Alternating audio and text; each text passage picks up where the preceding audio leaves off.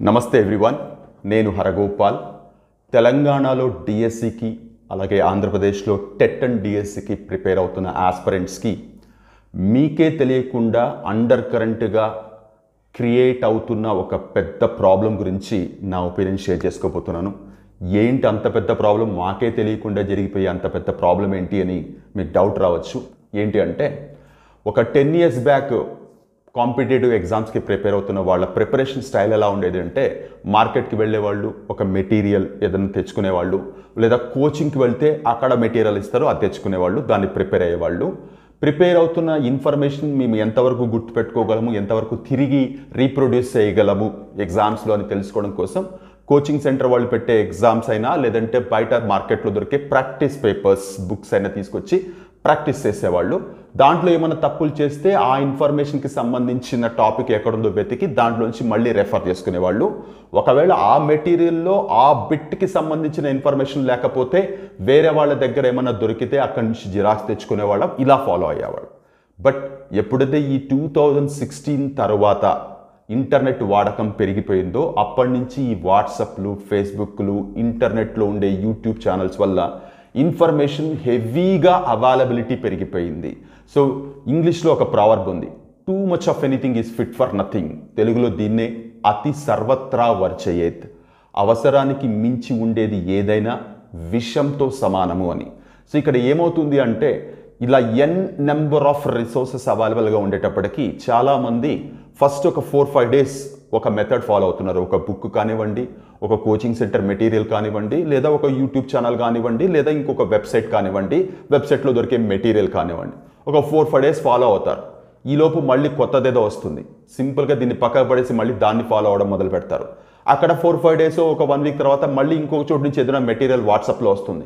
ఇది ఆపేసి అది ఫాలో అవుతారు. సో దీనివల్ల మీరేమనుకుంటారంటే ఇంత అవైలబిలిటీ ఆఫ్ మెటీరియల్ ఉండడం వల్ల మాకు అది స్ట్రెంగ్త్ అనుకుంటారు కానీ మీకే తెలియకుండా లేనిపోని కన్ఫ్యూషన్ క్రియేట్ అవుతుంది. ఎందుకంటే ఒక కాన్సెప్ట్ అది ఏదైనా కావచ్చు. మ్యాథ్సే కాకపోవచ్చు ఏదైనా కావచ్చు.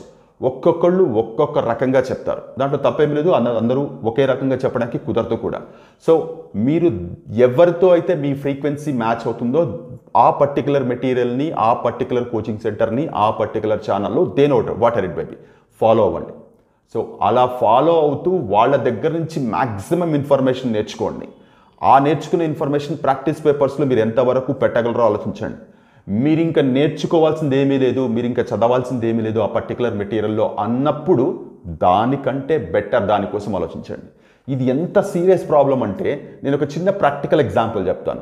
సపోజ్ ఒక చెస్ ప్లేయర్ ఉన్నారనుకుందాం. ఆ చెస్ ప్లేయర్ చెస్లో మంచి పొజిషన్కి వెళ్ళాలి అనుకుంటే ఒక కోచ్ ఉండాలి. మంచి కోచ్ కాదు ఒక కోచ్ ఉండాలి. ఆ కోచ్ నుంచి నేర్చుకున్నది మీరు ఎంత మంచిగా ప్రాక్టికల్గా అప్లై చేయగలరు గేమ్స్లో అన్న దాన్ని బట్టి మీ పర్ఫార్మెన్స్ పెరుగుతుంది. సో వంద మంది అపోనెంట్స్ ఉన్నా సరే ఆ వంద మందితో ఆడుతున్నప్పుడు మీ పర్ఫార్మెన్స్ ఏంటి అనేది మీ కోచ్ అనలైజ్ చేస్తారు. ఒకవేళ ఆ కోచ్ దగ్గర మీరు నేర్చుకోవాల్సింది ఇంకా ఏమీ లేదు అన్నప్పుడు ఆ కోచ్ కంటే ఇంకొంచెం హై స్టాండర్డ్ కోచ్ గురించి ఆలోచిస్తాం. ఇది ఓపెన్ థింగ్. జస్ట్ ఇమాజిన్ మీకు వంద మంది కోచ్ల నుండి అపోనెంట్ ఒక్కడే ఉన్నాడు అనుకోండి ఆ అపోనెంట్తో మీరు ఆడినప్పుడు మీ పర్ఫార్మెన్స్ వంద మంది వంద రకాలుగా చెప్తారు. దానివల్ల మీరు ఏం నేర్చుకుంటారు? కంప్లీట్గా కన్ఫ్యూషన్ క్రియేట్ కావడం తప్ప ఎలాంటి క్లారిటీ ఉండదు ఎలాంటి ఇంప్రూవ్మెంట్ కూడా ఉండదు. ఇది చాలా సింపుల్ అండ్ చాలా serious problem in your preparation మీకే తెలియకుండా మీ ప్రిపరేషన్ మొత్తాన్ని క్యాన్సర్ లాగా డిస్టర్బ్ చేస్తుంది. సో మై డియర్ ఫ్రెండ్స్ మీ ప్రిపరేషన్లో మీరు ఓన్గా ప్రిపేర్ అవుతారా? ఏదైనా కోచింగ్ సెంటర్కి వెళ్తారా? ఏదైనా మెటీరియల్ ఫాలో అవుతారా? ఏదైనా ఆన్లైన్ కోచింగ్ తీసుకుంటున్నారా? ఏదైనా యూట్యూబ్ ఛానల్ ఫాలో అవుతున్నారా? చాయిస్ ఇస్ ఇవర్స్ బట్ స్ట్రిక్ట్గా మీకు స్టార్టింగ్ వన్ ఆర్ టూ డేస్లోనే మీ ఫ్రీక్వెన్సీకి ఏది మ్యాచ్ అవుతుందో మీ అండర్స్టాండింగ్ లెవెల్కి ఏది కంఫర్ట్గా ఉంటుందో దాన్ని చూస్ చేసుకోండి. Believe completely in that one ఆ వేలోనే వెళ్ళండి. మీరు ఇంక అక్కడ నేర్చుకోవడానికి ఏమీ లేదు అన్నప్పుడు మాత్రమే దానికంటే బెటర్ ఆప్షన్ కోసం సెర్చ్ చేయండి తప్ప అట్ ఏ టైం ప్యారల్గా రెండు మూడు మెటీరియల్ ఒకటి ఆన్లైన్ కోచింగ్ ఒకటి యూట్యూబ్ ఒకటి కోచింగ్ సెంటర్ ఒకటి ఇలా ఫాలో అయితే మాత్రం మీరు హెవీగా వర్క్ చేస్తున్నాము హార్డ్ వర్క్ చేస్తున్నామని మీరు అనుకుంటారు తప్ప దానివల్ల వచ్చే ఉపయోగం ఏమీ లేదు. సో ప్రిపరేషన్ కొత్తగా ఏపీలో టెట్కి స్టార్ట్ చేస్తున్న వాళ్ళైనా తెలంగాణలో డిఎస్సికి స్టార్ట్ చేస్తున్న వాళ్ళైనా before going to start your preparation ఖచ్చితంగా ఈ క్లారిటీ మెయింటైన్ చెయ్యమనే నా సిన్సియర్ సజెషన్ హోప్ ఎంతో కొంత ఈ విషయం మీద మీకు ఇన్ఫర్మేషన్ ఇచ్చిందని అనుకుంటున్నాను. వీడియో ఓపిక చూసినందుకు థ్యాంక్ యూ వెరీ మచ్ మీ హరగోపాల్